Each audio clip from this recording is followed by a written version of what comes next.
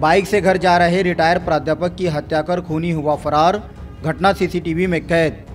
दरअसल महाराष्ट्र राज्य अकोला शहर गंगानगर के रहने वाले रिटायर प्राध्यापक रंजीत देवीदास इंगड़े बीते शनिवार 17 जून 2023 की देर रात बाइक से अपने घर जा रहे थे कि उन्हें एक फ़ोन आया, जहाँ वे रास्ते के किनारे रुक फ़ोन पर बात कर रहे थे, तभी पीछे से एक अनजान व्यक्ति आकर लोहे की सलाख से उनके सर पर ज़ोरदार प्रहार किया, जिससे प्राध्यापक ज़मीन पर गिर गए।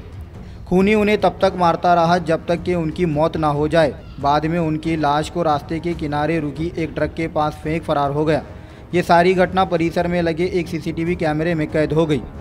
वारदात की सूचना पुलिस को मिलते ही मौके पर पहुँच सारे मामले की जाँच में जुट गई है।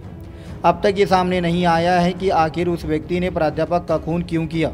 पुलिस खूनी की तलाश कर रही है।